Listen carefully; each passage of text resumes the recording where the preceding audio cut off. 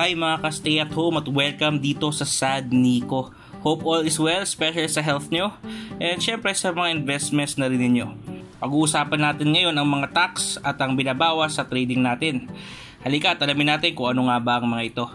Pero bago yan, ako po si Nico. This is Sad Nico where we talk about investment, art, food, and adulting. Kung trip mo itong mga topic na ito, please hit the subscribe button and notification bell para updated ka lagi sa mga bagong videos tulad nito.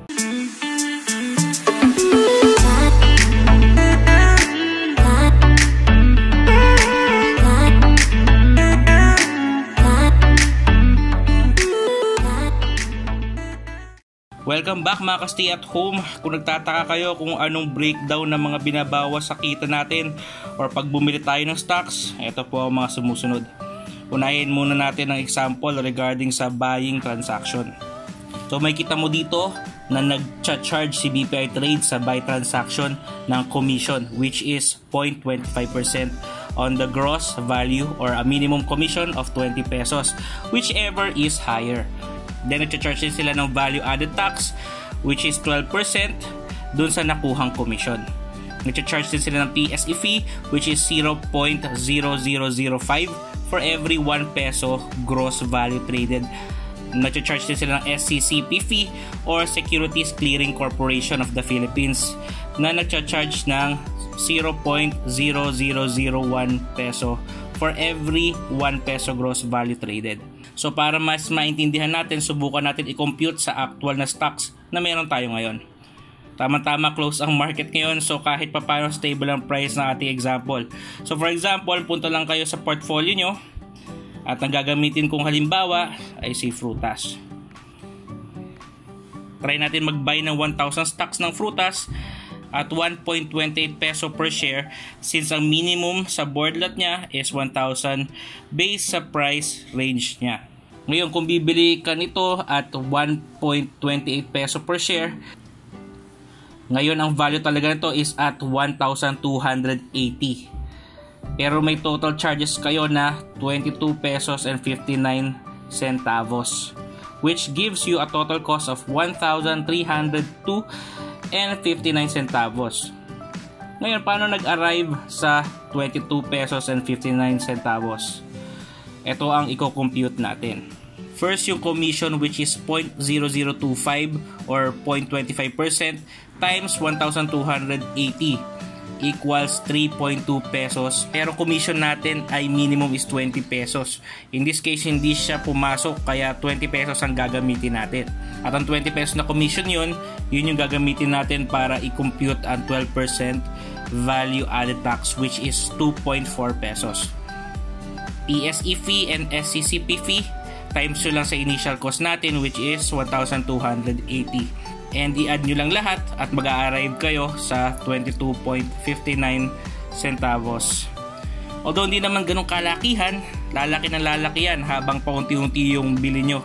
Let's say 10 times kayo bumili o di na walang ka na agad ng around 200 pesos. So dyan pumapasok yung 8k rule. Kung tataasan natin yung quantity ng bibilihin natin, for example, instead na 1,000 shares lang, ang bibili natin, try natin 7,000 which cost around 8 to 9,000 pesos.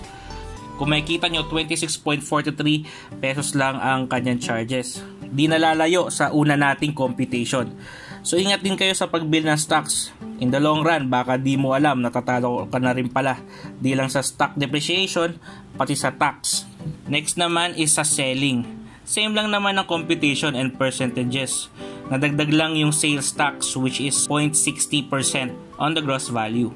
Kung mapapansin nyo sa portfolio nyo, minsan yung dito sa last na column, kahit mataas na yan sa average cost nyo, eh negative pa rin kayo dahil po yan sa tax. Ang maganda dito sa BPI Trade portfolio natin, computed na po yan. In this case, yung 19,028 pesos, 0.16, less tax na po yan. So far, wala pa naman sa range ng cut loss ko itong frutas, so i-hold lang muna ako. So try natin i-sell at 1.28 peso per share para makita nyo yung computation. Bale, 1.28 times 15,000 equals 9,200. Then meron charges na 171 pesos and 84 centavos. Same lang din yung computation, no? Although yung commission tumaas kasi malaki rin yung ibebenta at wala na sa minimum range na 20 pesos. Ang medyo masakit is yung sales tax which is 0.60% ng gross value. So ang total charges sa'yo for this transaction is 171.84 pesos making your total market value at 19,028 pesos and 16 centavos. Hopefully mga ka-stay at home may natutunan kayo although pwede ka pa na mag magsimula ng mas mababa sa 8K. Pero in order to maximize your profits, yun talaga yung advisable amount. Tandaan nyo, kung twice kayo bumili, twice din kayo matataksan. At kung twice kayo magbebenta, twice pa rin kayo matataksan. And so on and so forth. Maraming maraming salamat sa inyo. Kung nagustuhan nyo itong video na ito, please like and share. Huwag mo rin kalimutan mag-subscribe sa channel natin click mo lang ang red button at notification bell para updated ka lagi sa mga videos natin. Ako po si Nico. This is Sad Nico. Have a good day. God bless. Stay safe. Peace.